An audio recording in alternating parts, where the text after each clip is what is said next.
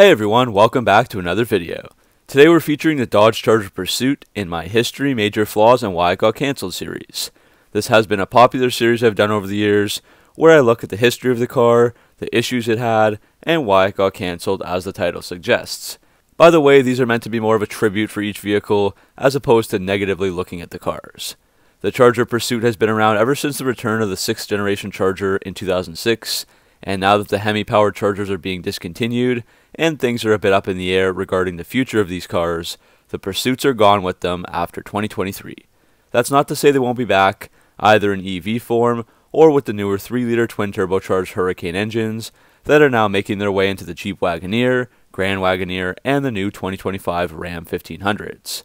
After all, a company like Ford is selling their Mach E to police fleets. Before we get into the video, I want to talk about today's sponsor, World of Warships on PC.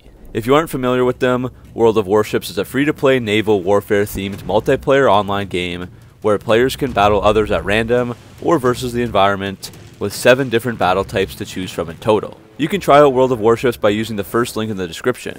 During your registration, use the promo code HSF2023 to receive a huge starter pack including 200 doubloons, 1 million credits, 7 days of a premium account, and 2 high school fleet commanders. You'll notice the game has stunning graphics displayed on over 40 maps with dynamic weather, water effects, and textures. The weather effects will make each battle unique and change the tactics of the battle.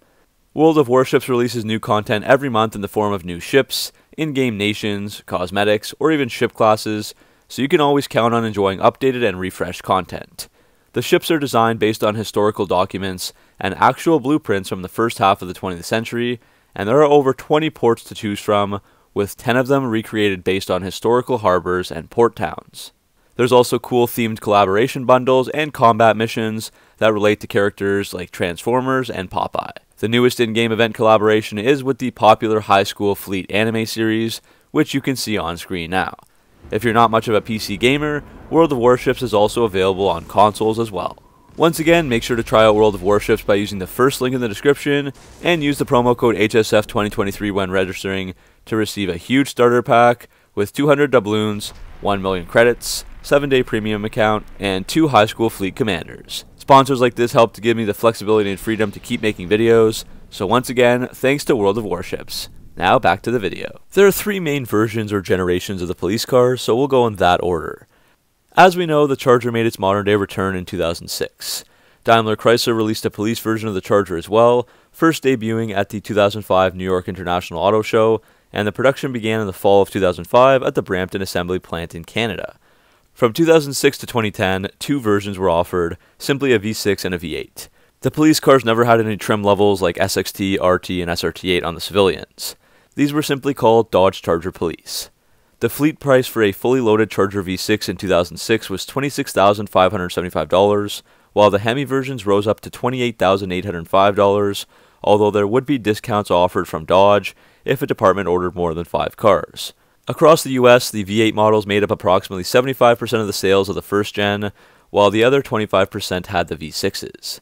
Most police agencies that drove on the highway a lot would purchase the Hemis, while only those that had officers patrolling big cities would buy the V6 models.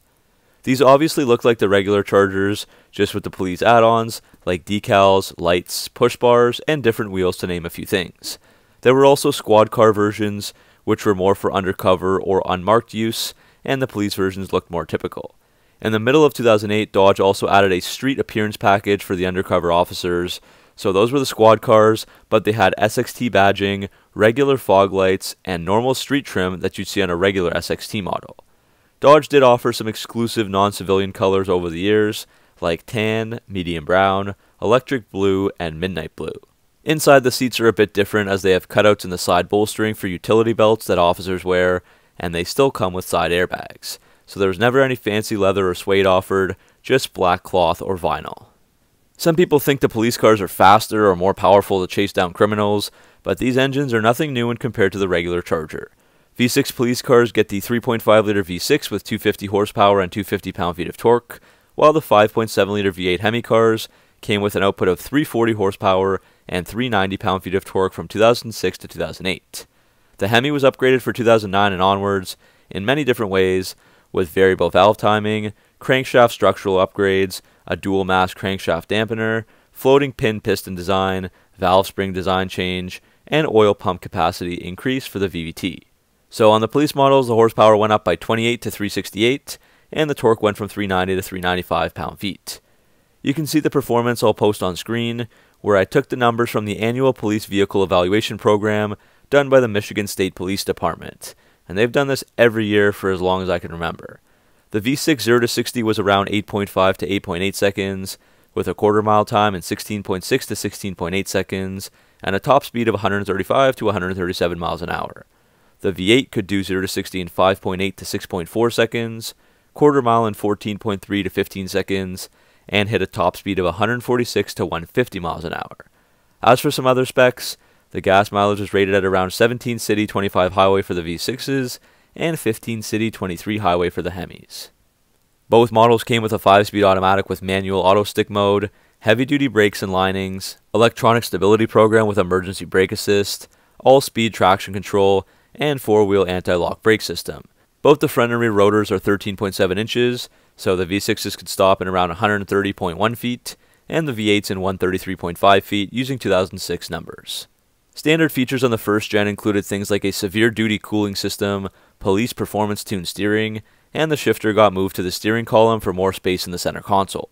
In that center console, Dodge added an aluminum plate for mounting radio equipment, computers, sirens, and other equipment that police might use. The electrical system is also specifically designed to be able to handle all the sirens and lights that the police need to use. Dodge also added the ability to see engine idle hours and total operating hours. Some slight but important changes over the years will be posted on screen, but I won't go over them. The Charger police cars made their second gen debut with the 2011 models, and this generation would last until the 2014 model year. These Chargers had both exterior and interior changes like the civilian versions. The body shape changed, the fascias and hoods were redesigned, the taillights got a racetrack style design that extended over the whole rear of the car, and there was a refreshed interior with a different dashboard and layout. The cop cars were officially renamed to the Dodge Charger Pursuit, and just like the first gen, there's just two versions, a V6 and a V8. The fleet price for a Pursuit V6 Charger in 2012 started at around $21,949, so that was good for fleets that were trying to save money. That was one of the cheapest cop cars available, undercutting the cheapest Ford option by 790 bucks. The price for the Hemi Pursuit Chargers started at $23,585, so both the V6 and the V8 were over $5,000 cheaper than the comparable civilian Charger version and the optional street appearance group returned for officers that do more undercover work, with some regular features like fog lights, aluminum wheels, and a standard center console. You'll see the long list of standard equipment on screen, which includes things like load leveling performance suspension that is much stiffer than civilian versions, heavy duty vented disc brakes, emergency brake assist, bigger front and rear stabilizer bars, 18 inch performance tires on steel wheels, a two mode police specific electronic stability control calibration, 160 mile per hour speedometer, and a lot more. Inside, there's a police interface module with police duty front seats, the column mounted shifter, red and white LED lighting for night vision equipment, a stealth mode, and more.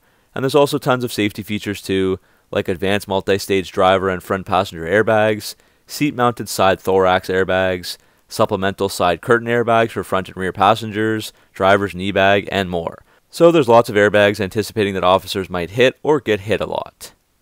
Looking at the performance, the 3.6 liter Pentastar V6 engine made 292 horsepower and 260 pound feet of torque, with an estimated 19 city and 27 highway MPG.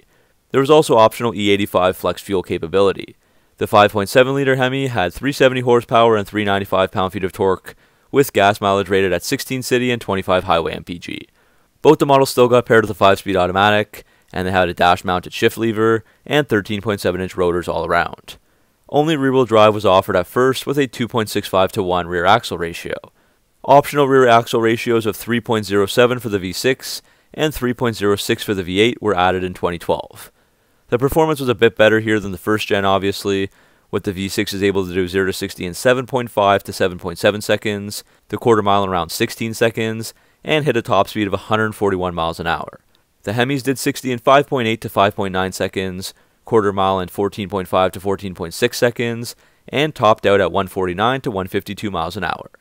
In 2014, Chrysler finally added an optional all-wheel drive system, but that could only be had with the V8. They said they were in no rush to add all wheel drive over the years due to a lack of demand, and they also added a BR9 brake package with way bigger 14.5 inch front rotors.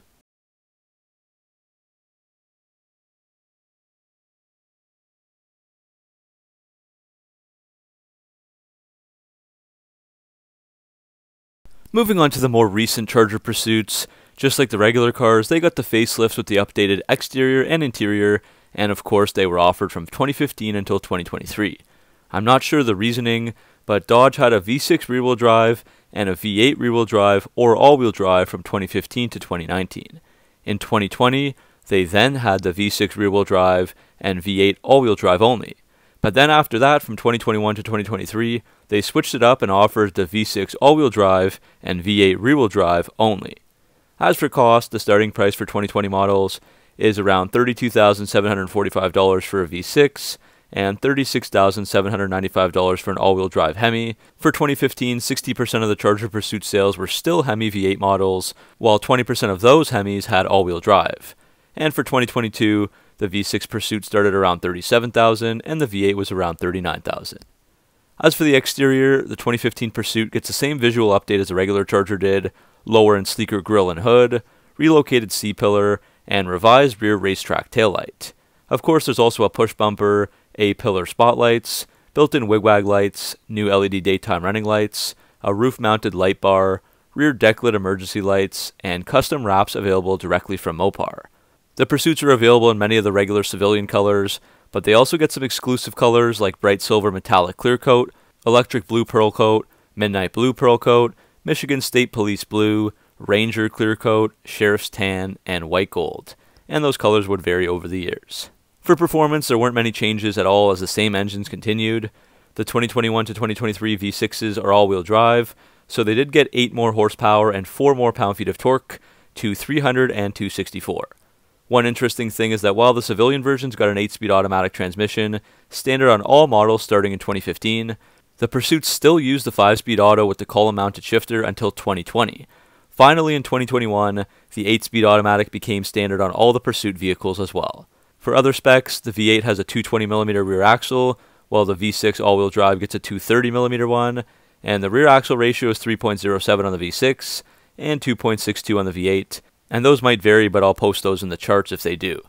The 2023 V6 models can do 0 to 60 in around 7.4 seconds, while the V8s are good for 5.9 seconds.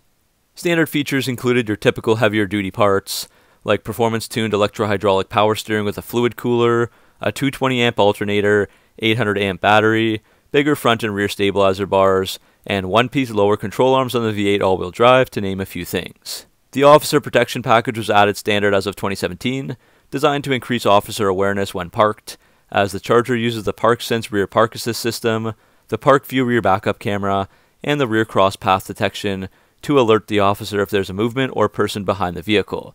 The sensors will activate, sound a chime, all the doors lock, front windows roll up, and the taillights start flashing if there is. Inside the basic screen is a 7 inch display, but in 2016 they did add the option of the 12.1 inch Uconnect screen, which will also add more buttons and better allow for connecting laptop systems. Both the Uconnect systems are more robust than civilian versions, as they are engineered and tested to work with the officer wearing gloves and in extreme conditions like minus 40 Celsius or 85 degrees Celsius. Finally, here's a list of updates the newer pursuits received, which you can read on screen. Now we can go over some general info like sales and who uses the Charger pursuits. Mopar website allpar.com did post sales numbers for the first couple of years, so to start at a higher level, for the first year in 2006, there were 2,500 cars purchased, and that went up to 8,000 for 2007 and 10,000 for 2008. Usually, the first year is where the police departments will order a few cars to test them and see if the car is performing to their standards, and then they'll order more. So, as we can see, the sales quadrupled within three years.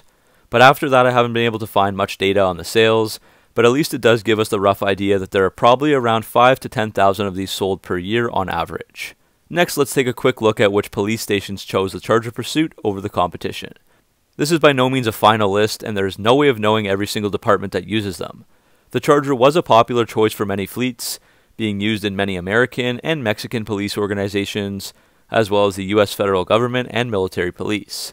As of 2013, over 20 states had signed up to use the Charger, including Arkansas, Colorado, California, Florida, New York, Idaho, Kansas, Michigan, Dallas, and Washington, to name a few. 18 others were with Ford, and the rest either unknown or mixed. In Canada, they are used in Alberta, Ontario, Montreal, Nova Scotia, New Brunswick, and PEI. Going more international, law enforcement agencies across the world include Chile, Czech Republic, Bahrain, Kuwait, Lebanon, Saudi Arabia, and the United Arab Emirates. One other interesting fact is that apparently NASA ordered one Hemi Charger to be a chase car, driving alongside their ER 2 Earth Resources aircraft to help ensure for a smooth landing. So there's a pilot in the Charger that helps to assist with the landing and goes over 120 miles an hour almost every time. This goes down at the Armstrong Flight Research Center in California. So that'll bring us to the next part of the video, looking at the reasoning for the cancellation and the flaws of the Charger Pursuit, as we do for all vehicles in this series. So Dodge CEO Tim Kuniskis had been hinting towards going in a new direction with the Dodge Charger and Challenger for a few years, and the official news came during the first day of Dodge Speed Week on August 15, 2022, where he said, quote, The 23 model year Chargers and Challengers will be the last of the Hemi-powered L cars that we build. When that window closes, there's no reopening it. Production ends December of 23. You need to get your orders in now or never, because when the last Hemi Chargers and Challengers roll off the line at Brampton, it's going to be the end of a legendary era. And it's hard to believe, but that 20 year run in Brampton unleashed nearly 3 million Dodge muscle cars to the world. That's a billion horsepower off the line and straight to the streets. So, of course, the end of the civilian Chargers mean an end to the Pursuit Chargers, at least in their current form. So that's the reason for the police Chargers going away. I did talk more about why Dodge felt the need to discontinue these Chargers in my Dodge Charger history, major flaws, and why it got cancelled video, so check that out for more info if you're interested. But the reasons included internal pressure from Stellantis, compliance and environmental regulations, and the fact that Dodge believes they can enhance their performance and go further with electrification. So now we'll go over some issues and flaws that these cars had over the years, obviously focusing on the police cars rather than Chargers in general. The first gen versions seemed to get rave reviews, but also they did get replaced fairly quickly after like 4 years, so that could also mean that many agencies didn't use them long enough to develop problems if they upgraded to the 2011 and up versions. The one major problem the fleets had was with the brakes wearing down way too quickly. Chrysler wanted to have the best braking performance when compared to their rivals Chevy and Ford, so they used a high performance pad with a hard bite. Unfortunately, with that brake pad performance came more brake dust, more noise, and most importantly, a much faster wear time. State departments were complaining to Dodge that they were having to change their brake pads out every 4 to 8,000 miles, so this was a major issue for the 2006 to 2008 models. But around 2008, Dodge changed the pad design, and they used a different compound that extended the pad and rotor life and reduced the noise. The performance did get a bit worse, so that was a trade off. Moving on to the second gen, there were 9,688 2011 and 2012 pursuits that were recalled for a lightning harness connector overheating and causing the low beams to fail. 127,350 Dodge Chargers were also recalled, some of those being the police cars, for the power distribution center overheating and causing a loss of anti-lock brakes and stability control system. Many officers had issues with the aftermarket packages and options that Mopar offered, claiming that there were long delays to get them and the gear was squeaking and rattling like crazy. Another thing that some officers complained about was the ride quality, which has to do with the suspension and tires. The Pursuits had a firmer and harsher feel over the civilian Chargers, but there were reports that these cars had jitters, shakes, and an uncomfortable ride. The cop cars also got Pursuit rated tires, which have reinforced inside and outside shoulders for various police maneuvers, like crossing a median or going over curbs, and officers found there was a ton of road noise and a very uncomfortable ride with the Pursuit tires. Both the suspension and tires are, of course, helpful for the different tasks that officers have to go through, but I can understand a rough ride would get very annoying when someone is driving all day long. Another annoyance for many was that Dodge didn't put the 8 speed autos into the Pursuits until 2021, when meanwhile it was in some V6 cars starting in 2012 and in all the civilian Chargers for 2015. Dodge claimed that the officers preferred the tried and tested 5 speed autos, but the 8 speed auto would benefit with better performance and gas mileage while having virtually zero downsides. Finally, the 2009 and up Hemis had an issue where the Eagle motor has a ticking noise that's caused when the lifters are faulty and can stick or get stuck, and that stuck lifter then wears down the camshaft lobes and eats into the cam, eventually needing a new lifter and camshaft.